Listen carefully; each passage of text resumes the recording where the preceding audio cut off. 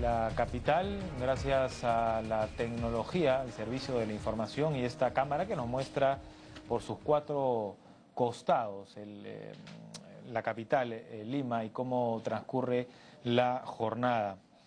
Vamos a hablar ahora del seguro agrícola catastrófico, que tiene cuatro años en realidad, pero del que se ha sabido poco. La idea es, bueno, para comenzar, es una iniciativa del Ministerio de Agricultura que lo que busca precisamente es proteger las hectáreas en ocho regiones a nivel nacional. El nombre catastrófico puede resultar eh, exagerado, ¿no? pero tiene que ver con la tragedia, las tragedias que ocurren a raíz de eh, las inundaciones, las plagas y las eh, heladas.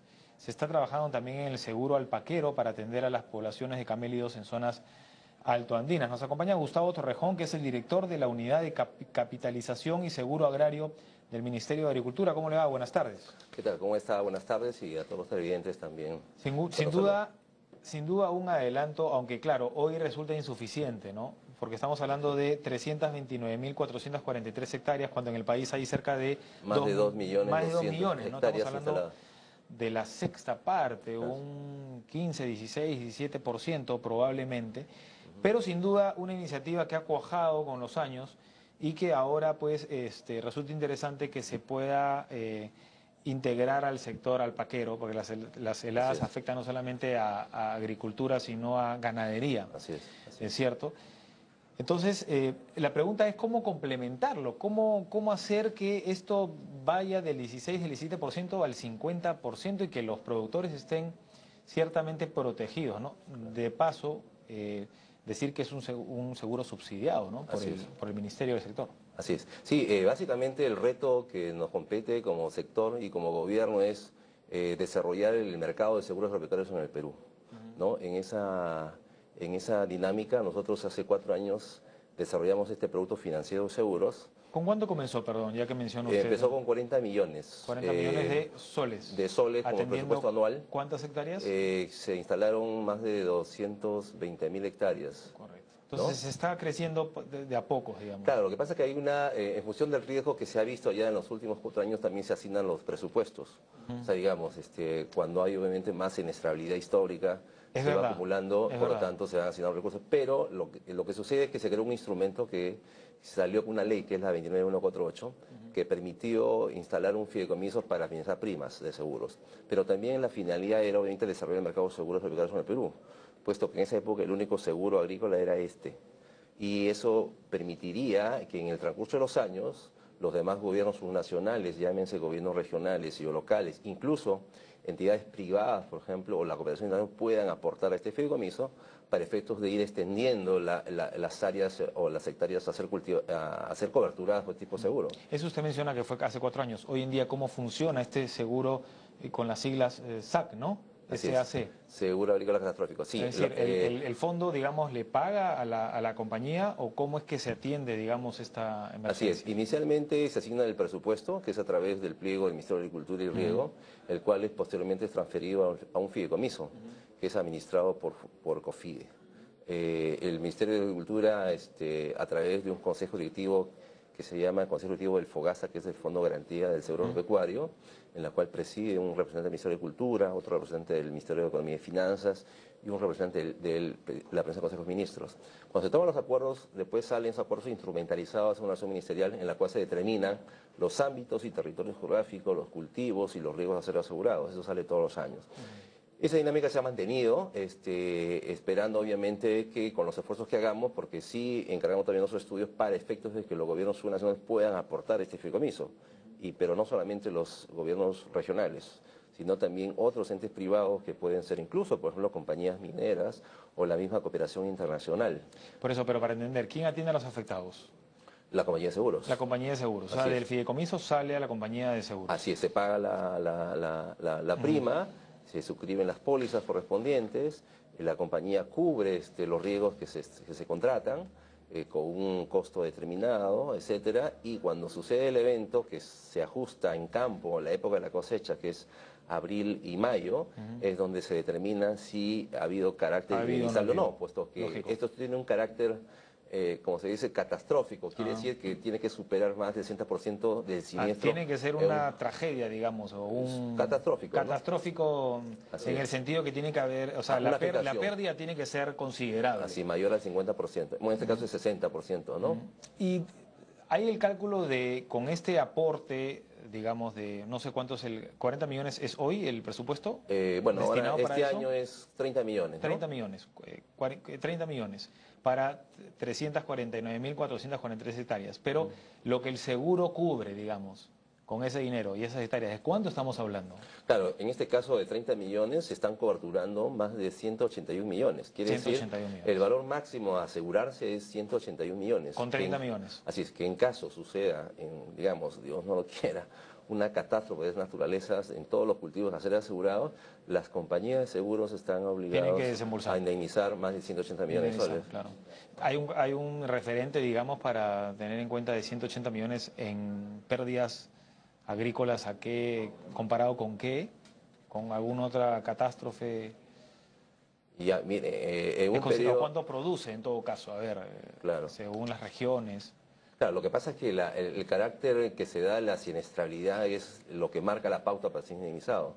Digamos, si alcanzamos una siniestralidad en cada campaña de 100%, digamos que las compañías tendrían obligar, es el máximo valor asegurado tenía que ser indemnizado. 180 Ahora, para que eso se dé, eh, bueno, en el transcurso que ha sucedido es el desarrollo del seguro en los cuatro años, no ha habido ese carácter así este, tan catastrófico, Tan digamos, en, en una siniestralidad al 100%. Correcto. Salvo que sucedió en la campaña El fenómeno 2000. del Niño. Eh, eh, bueno, eh, claro, eso está más ubicado en las zonas altoandinas, ¿no? Aunque el fenómeno afecta también por el tema de sequías. Y los, los, los fenómenos están incluidos, imagino, son parte del Sí, riesgo de... Son todos los riesgos, ¿no? Son heladas, este, granizadas, lluvias, sequías, plagas, enfermedades de la planta, etcétera, ¿no? Ahora, ¿con qué criterios se han elegido, digamos, las zonas y las hectáreas?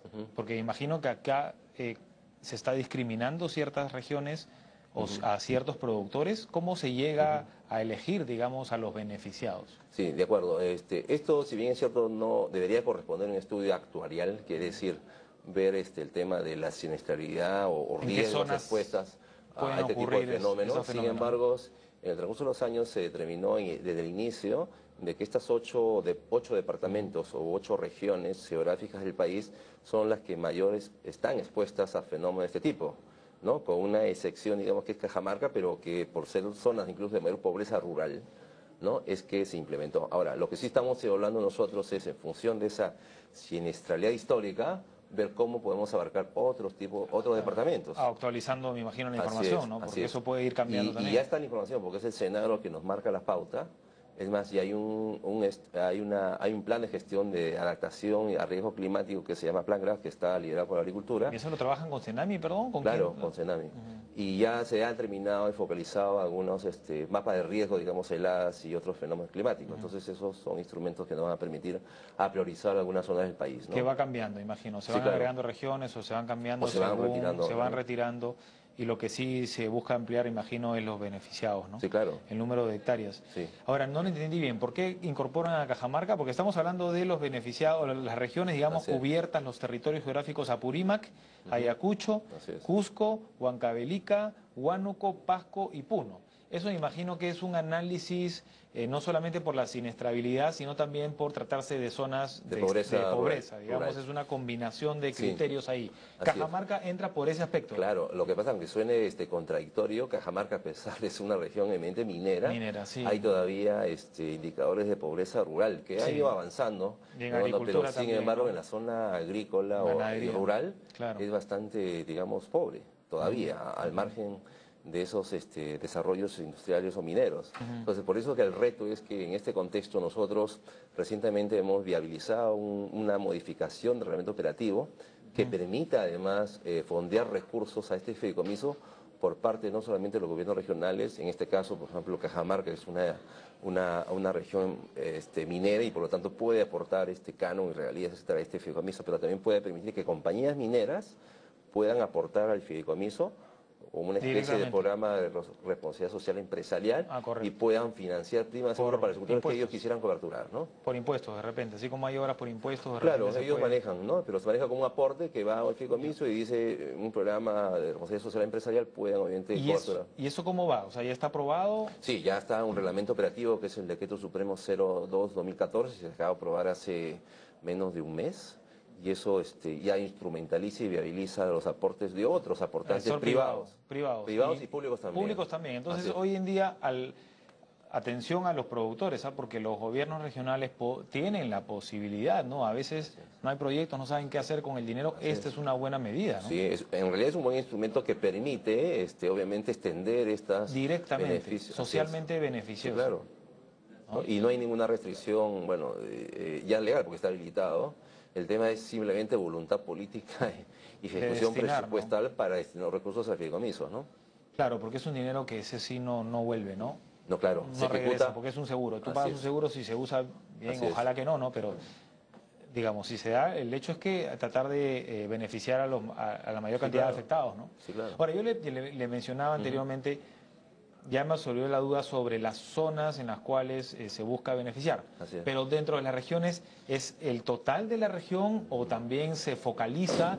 Y según eso, ¿sí se atiende a todos o hay algunos que están quedando todavía desamparados? Así es, nosotros hemos entrado en estos cuatro años en una dinámica con los gobiernos regionales en el sentido de que ellos determinan y priorizan los cultivos a ser coberturados.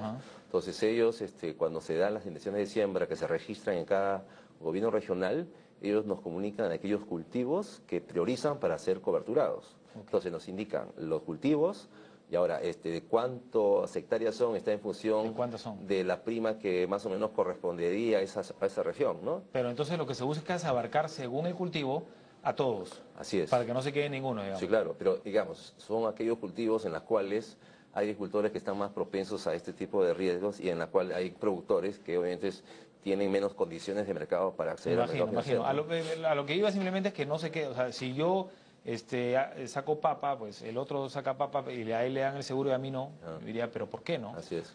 Sí, claro. Ahora, todo eso se trabaja, el Ministerio de Agricultura lo trabajan con los gobiernos regionales. Así es. Y bueno, con institutos como el CENAMI, en fin, para esa, esa, esa cuestión este climatológica. Para la medición de los indicadores, etcétera, ¿no? Para despolitizar, me imagino también el tema. Las decisiones, sí. Las decisiones. Bueno, según lo que tengo para ir finalizando, en, en la región de Apurímac se asegurarán cultivos de papa, maíz, amilacio, trigo, quinoa, frijol, ¿no? Por un total de 42.863. En Ayacucho estamos hablando de arberja, grano seco, cebada, grano, maíz. En Cusco eh, estamos hablando de avena, avena, grano seco, haba, maíz, ¿no? Maíz choclo, papa. En Huánuco, papa, maíz, plátano y cacao.